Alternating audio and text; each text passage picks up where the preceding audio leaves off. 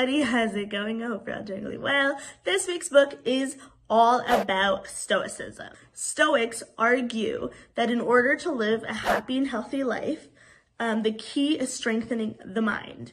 And so Stoicism basically just focuses on strengthening the mind. And by strengthening, by strengthening the mind, Stoics argue that we must learn to view things not in our own lenses and in our traumas and how to learn how to view things as they are.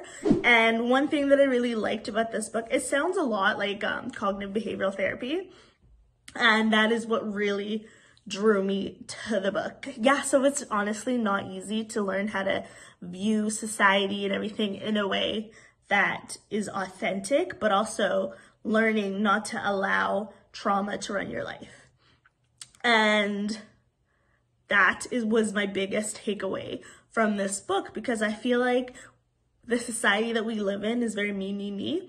And we have a tendency of not seeing things as they are and seeing them based on our experiences, which is something that cognitive behavioral therapy, cognitive behavioral therapy tries to emphasize. And I thought that it was really cool how even people back in the day, like in ancient Greece, they knew the power that comes when a person learns how to see things as they are because honestly, it's so easy. Um, to just say, okay, you know what, this is my previous experience. So then that means that this experience is what I'm going to base everything off, off of, which is not healthy.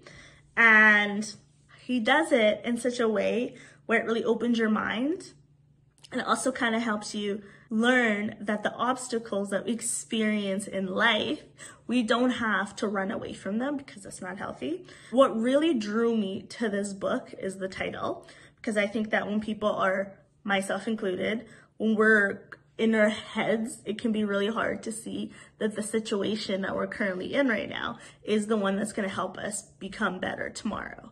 And that is why I really, really like this book. And it, it kind of changes your mind a little bit in the way where it's like, okay, you know what?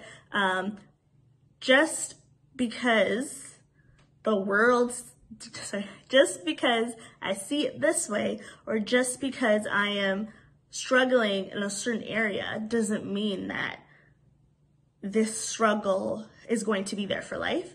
And you can really see this in the book where he's also talking about how it's super important to turn your problems inside out and to learn that that growth that's going to happen is based on the way that you see the world. So anyways, thank you so much for watching. I don't want this video to be too long.